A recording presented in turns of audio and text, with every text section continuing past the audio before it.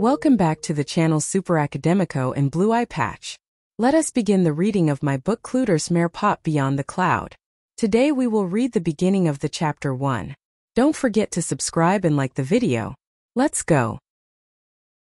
Chapter 1. A blog and a summer love. The city I live in is like any city. There are people, buildings, workers, and students. I am one of the elementary school students. I study in a very well-respected private school and my parents work very hard so I can be there. Many important people also keep their kids there. Or at least they try.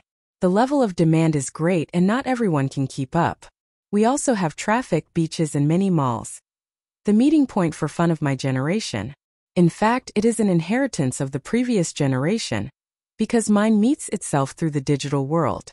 The famous Internet cloud, which connects servers around the world and connects people, information, and everything else that gives life meaning to our 21st century world. That's why they call us Clouders, an English expression that derives from the cloud cloud, in use now on every other language there is. Note, like many others English words, everyone takes it from the way it came like the word internet itself. That summer brought new things to the school life and mine too. Cool and smart girls like me should not think about it, but I could not help noticing his perfect skin face coming through the door of our classroom. A sad and penetrating look that captivated me in its entirety. The new boy who arrived in the city and our school coming from not far away, wrapped in mystery and unexpectedly exchanging glances with me. Who could have imagined that? I, who barely appeared on the center of conversations, who would sit in a corner with some friends and concentrate on my studies, catching the attention of that handsome boy. Is my name and being a blogger was my bid. I hope it does not disappoint you dear readers, but this introduction is just my way of speaking about a special moment for me, but under the effect of the first Twilight Saga movie. I was 14 years old and had watched the movie about five times. I posted my review of it on my blog and I was with Edward Cullen in my head as a male beauty model. Note, this was before the second movie, New Moon, debuting and showing that Jacob was much cuter. Then, returning to the entrance of Marcos Freitas in the classroom that day, he walked slowly with a mixture of shyness and indifference to everything. His piercing gaze met mine from time to time and I felt like Bella, as if crossed over by fate to keep that figure out of the sweetest romances. But the reality of school life came back to remind me that movies are movies. Meire, did you do the work I asked for? Asked the literature teacher. Yes, I did. And the days passed by. Our school was considered one of the top 10 schools in the state. The standard test scores were always good. I guess that's why we always had new students trying to get into it. Marcos Freitas was the new student of that season, but it would not be like all the others that had already appeared in our previous classes. One of the trends that guarantee the quality of our school is the demand from our teachers that charge us the fulfillment of many tasks. It may seem contradictory, but the more flexible is the school with the rules with students, the more it tends to have young people without self-control. Our families are keen to put us in a school where the rules are met. This forces us to study and much, otherwise we are invited to change schools. After two weeks since Marcos Freitas joined the class, an incident eventually caught his attention for everyone in the class, far beyond his appearance to the girls. Being a little older he also got attention from the boys in the class, who wanted him in their various groups. He had been late for the science teacher's class. Upon entering the room without asking permission and sitting in the back, the teacher came to have it out with him. Aren't you going to ask permission to enter the room, Mr. Marcos? Sorry, teacher. I didn't want to interrupt your explanation on evolution theory. Oh, so you know what I was talking about? Yes, I know. Natural selection and mutation. That's right. I hope this doesn't happen again. No delays for my class. She turns to continue the lesson and he glances around with some satisfaction. I felt him stop and looking a few more seconds at me.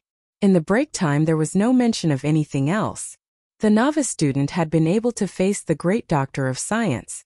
Always so strict with everyone about deadlines, punctuality and discipline, she ended up having to bend over to Marcos's argument when he was asked about the delay and discreet entry into the room. He seemed unshakable in the face of the situation. It did not seem normal for a young man of that age to be so sure of himself. This only added to the mystery surrounding him, which declined further in the following days as he began to walk with the other boys of the class and seemed to be just another one. However, those apparent aspects of his personality would be essential for the understanding of what was to come in our lives. Note.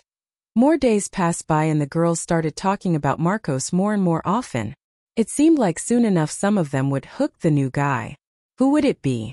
Teenage blogs was not yet a fever at that time. Today you just need to access any large media portal online and they have a lot of youth blogs talking to young people on the most diverse subjects. Dating, work, school, drugs, movies, books, sex, politics, travel advice, and even bullying. Curiously, the interest of people of my age at that time for reading blogs has changed a lot because today everyone already has access to high-speed mobile internet. Today is the era of smartphones and teen stars are the YouTubers. But at that time it was still an alternative novelty, something rebellious for free expression of young opinions. My blog was not revolutionary at all. It was just to share things of common interest to us all. In the case of films and reviews it was very timely. I was lucky and I think I'm a bit talented to write so attractively to guys in my age at the time. I would never have imagined the effects it would have in my future. And much less for all the people in the world too. Note. It may seem pretentious to say this now, but it will soon become clearer. Returning to my blog, strange comments began to appear about a kind of a ghost that appeared and appeared in several schools and in various classrooms in the city. All because of my review of the Twilight movie. I did not really care about that at the moment because I was more interested in getting to know Marcos a little better. We formed some study groups in geography class. The teacher's objective was for each team to present some physical, economic and social data from different regions of the country. My group stayed with the South region and we met over the course of a week to get the job done. It was a very nice socialization opportunity, because the teacher made a mixture in the teams to avoid that vicious cliques were formed. All teachers always say that it's important to vary who you work with because in the professional life there is not much choice about who we will work with. At first some people were surprised to be in the company of little-known colleagues, but we ended up getting to know each other. In particular, of course, I had the luck and opportunity to be on the same team with Marcos. I hope you have enjoyed this reading. Don't forget to subscribe to both channels and like and share the video. Bye.